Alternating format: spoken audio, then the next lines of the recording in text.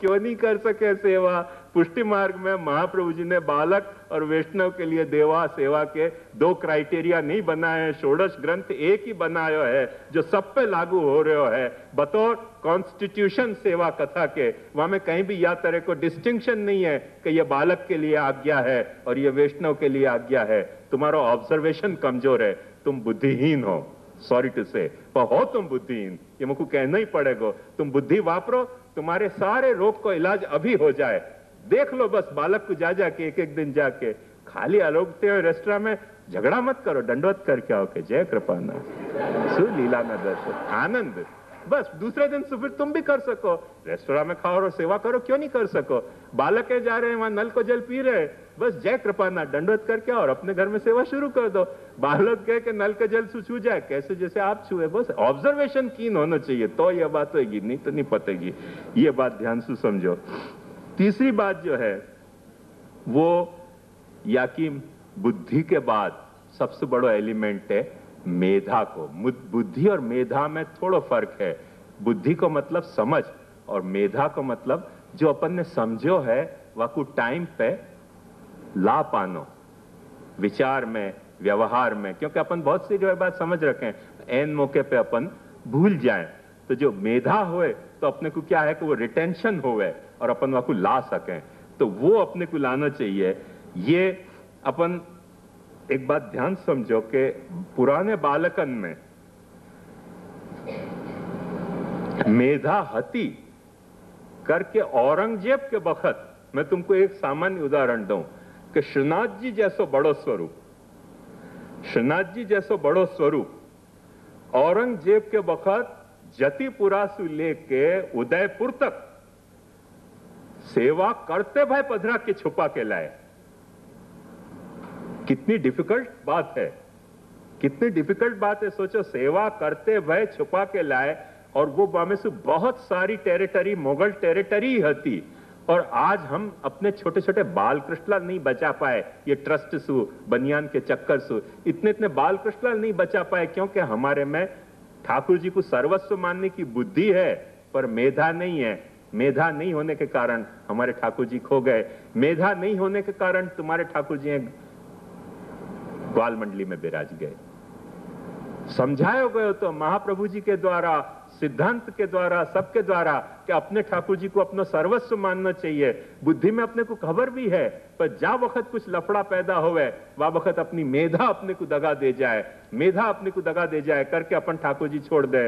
अपन यो कहें अच्छा भाई ठाकुर जी को ट्रस्ट कर लो। कोई तरह से हमको तो बचाओ, हमारी कुमत काढ़ो। यहाँ सु ट्रस्टी में सु।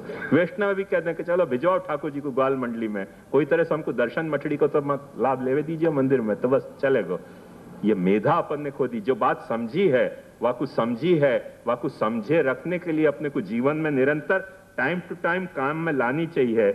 और वाक्य बाद तितिक्षा, अपने धर्म के लिए एक बात समझो कि धर्म जो है, वो शूर को मार्ग है। ये सो कायरन को मार्ग नहीं है। तो धर्म के लिए थोड़ा बहुत तो कुछ सहन करना पड़ेगा। एक यहूदी धर्म को इतिहास, देखो तुम, कितना दिव्य इतिहास है कि वहाँ को कोई राज्य नहीं वहाँ के लिए कोई कोई ठिकाने, कोई देश नहीं, कोई वहाँ के लिए सिंपथी नहीं, पर हर यहूदी ने अपना धर्म कब से लेके आज तक निभायो और अपने धर्म को जी रहे हैं, अपना राष्ट्र बनायो इसराइल नाम को और अपनी दुर्गति देखो कि अपने सब ठाकुर जी हैं सरकार ले गई। अपने सब ठाकुर जी हैं, तुम्हारे सब ठाकुर जी ग्वाल मंडली में गए। और बहुत सारे जो है, वो या तरह से हो जा रहे हैं। अपने जतिपुरा के मुखारविंद की स्थिति देखो कि ठेका उठे है। वो क्या है? सब लोग छीन छीन के ले जाएँ। अपने में, अपने धर्म को सुरक्षा के लिए बलिदान की भावना नहीं है। मछली मिले तो खाने की भावना है, पर धर्म के नाम पे कुछ सहन करने की अपनी तैयारी नहीं है। एक बालक ने खुद ने मुझको आज्ञा कही भूतली पुरुषोत्तम ने, कैसो, क्या करें? ठाकुर जी को तो हम बचा लें। पर ये सब जो इनको ठाकुर जी के सेवा के सेवा के आभूषण, चांदी सोना के पात्र, इनको क्या करें? इनके रहते तो हमारे इतना टैक्स तो भरने को नहीं है। तो मैंने किया छोड़ दो। छोड़ के और ऐसे तुम ठाकुर जी को तो लेकर भगो। बोले, अब छोड़े तो ठाकुर जी को कितना परिश्रम हो जाएगा। हाय हाय हाय सोना चांदी छोड़ने में ठाकुर जी को परिश्रम होएगा। ठाकुर जी इतना जो है वो श्री विहीन नहीं है तुम्हारे जैसो के ठाकुर जी को परिश्रम होएगा। सोना चांदी के बर्तन और हीरा झवेरा छोड़ने में ठाकुर जी को परिश्रम हो तो, ऐसा पद्मनाभ दास के यहाँ छोला क्यों रोक तो और तुम्हारे यहाँ पधारने के बाद भी ठाकुर जी ने तुम्हारो भोग नहीं अप्रिशिएट कियो, वो छोला अप्रिशिएट कियो। वो ठाकुर जी या तरह सेठियान को पुष्टि मार्गे हरे दास्यम, मैंने पुष्टि मार्गे श्रेष्ठी दास्यम धर्म कभी ठाकुर जी ने रिकॉग्नाइज कियो नहीं। करके ठाकुर जी में ये सामर्थ्य थी, कहाँ गई वो अपने में तितिक्षा की सामर्थ्य कि जो कुछ होएगो, मैं अपनो भोग धरूंगो। अपनो भोग धरूंगो वाकई थोड़ी तकलीफ़ होगी तो जी लूंगो, क्यों नहीं जी लूंगो? पर वो अपने में सामर्थ्य नहीं रही। अपनी तितिक्षा सेवा में अपनी तितिक्षा को भाव खत्म हो गयो, करके अपनी सेवा का रूपी धर्म जो है, आज विधुर हो गया है, विधुर हो गया है। वाको दाम्पत्य को फिर से संभालो, ये बात ध्यान समझो।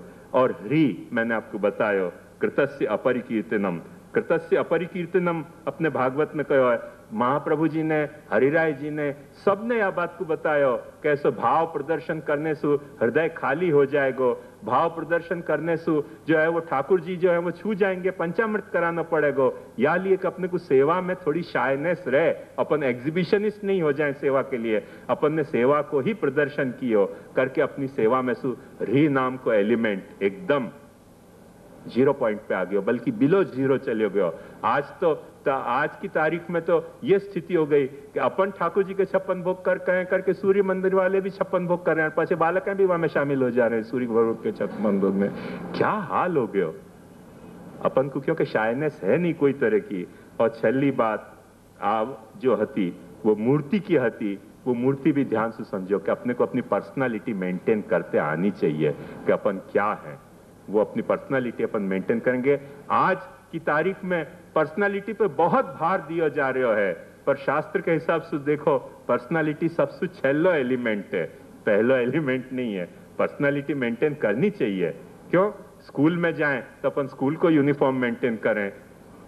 हाई कोर्ट में जाएँ तो अपन कोर्ट में जाएँ तो कोर्ट के वो कौआ जैसे काले चुगाए मेंटेन करें।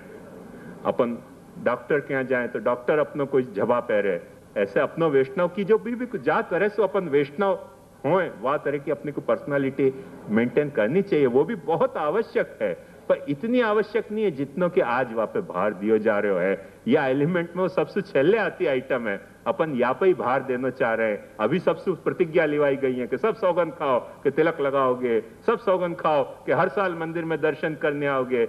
वो सिर्फ़ पर्सनालिटी पे भार है भीतर को सच चौपट पर्सन गायब है पर्सनालिटी पे भार दिया जा रहे है। ये क्या लपड़ा है? ये धर्म को जो है, वो विधुर बनाने को गुण षड्यंत्र है।